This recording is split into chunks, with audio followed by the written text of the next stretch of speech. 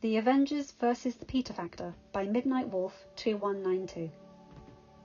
Chapter 1 Tony Stark.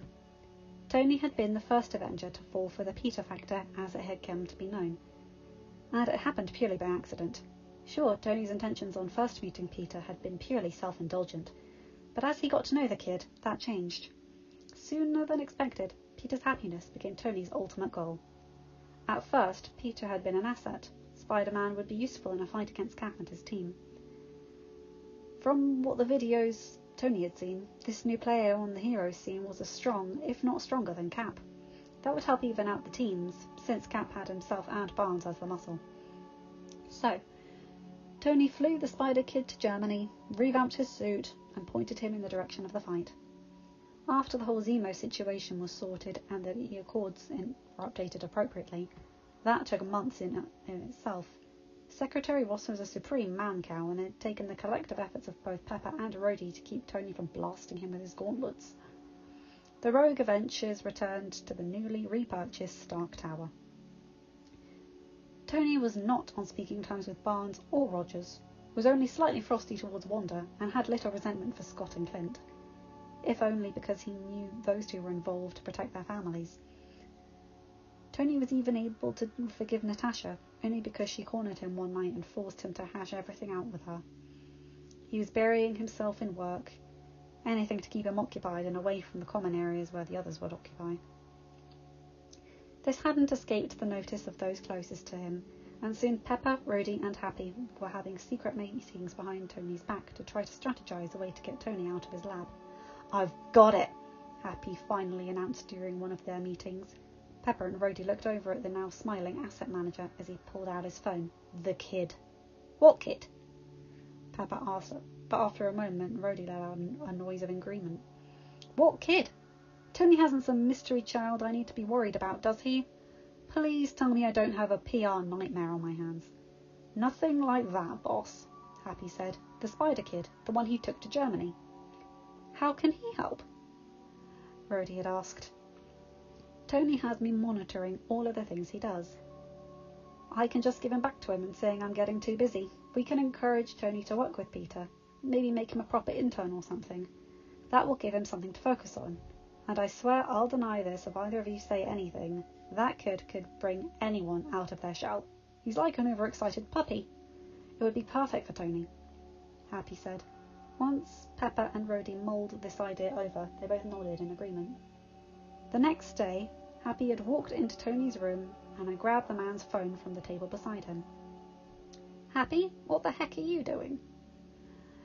Tony asked. Happy looked over at his friend and shook his head. His face was sunken. His usually immaculately groomed face was shaggy.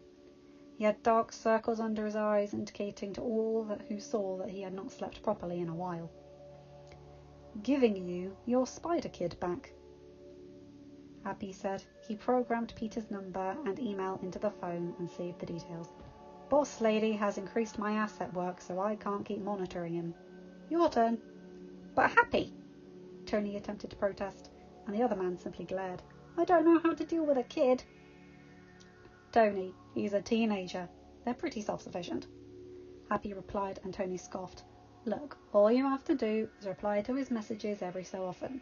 He's pretty smart if all the ramblings I keep getting are anything to go by. Maybe you could invite him over to the tower. Why?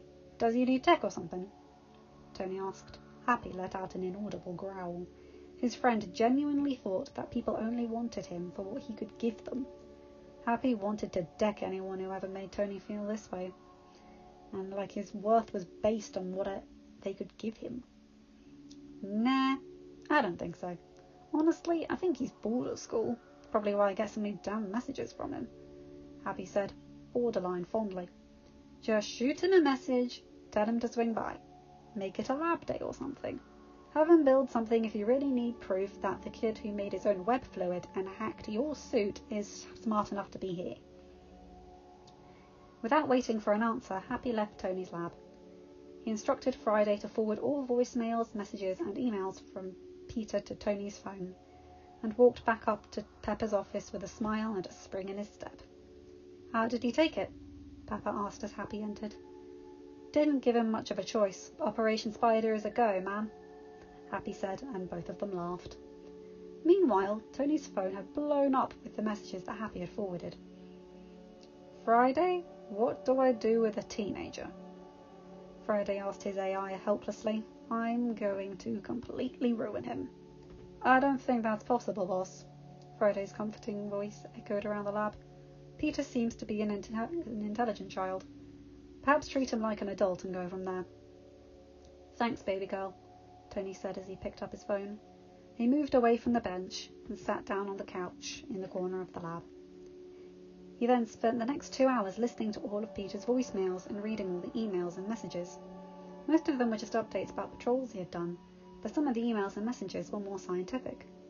Some of them were ideas for improvements to his web fluid, while others were potential upgrades for his suit. Boss? Friday's voice broke out of Tony's reverie. He looked up at one of the cameras and nodded for Friday to continue. Platypus is requesting you join him for lunch. He says he will meet you in your private floor in fifteen minutes' time. I've been ordered to play Bubblegum Pop until you leave your lab, just so you know. Thanks for letting me know, sweetheart, Tony said. He then finally listened to all the cues his body and was realized he was starving. I hope he's ordered something good.